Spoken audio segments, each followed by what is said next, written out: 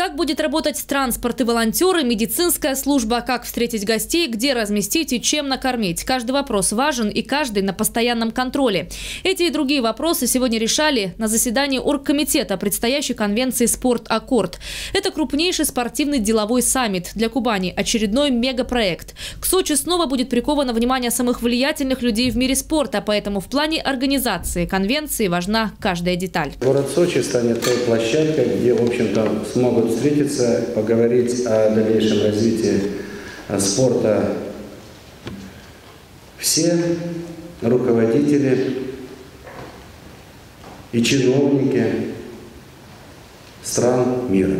Спорт-аккорд сегодня объединяет более 100 международных спортивных федераций олимпийских и неолимпийских видов спорта. На ежегодной конвенции участники обсуждают проблемы, вырабатывают и принимают важные для развития всего мирового спорта вопросы.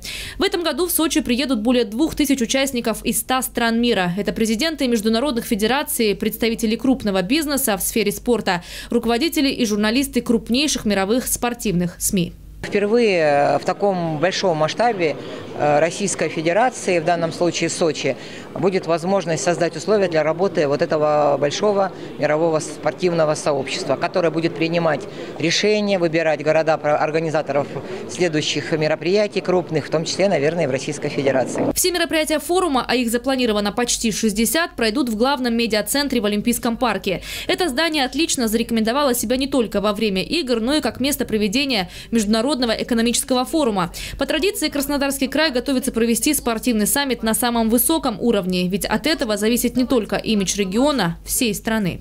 Каждое мероприятие имеет свои особенности. Это мероприятие оно имеет разноплановый характер.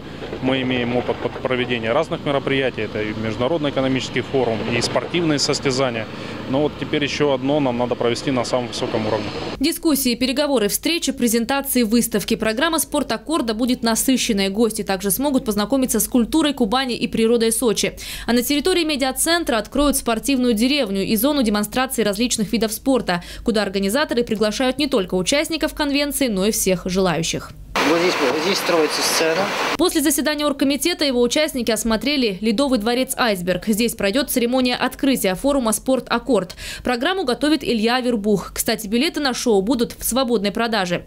А еще в дни форума в Сочи пройдет полуфинал Кубка Федерации по теннису среди женских сборных России и Германии. Спустя много лет на сочинских кортах сыграет главная звезда российского тенниса, уроженка Сочи Мария Шарапова. Матч пройдет на кортах в Академии тенниса, которую Краснодарский край создал из Олимпийской Адлер-арены для воспитания новых чемпионов.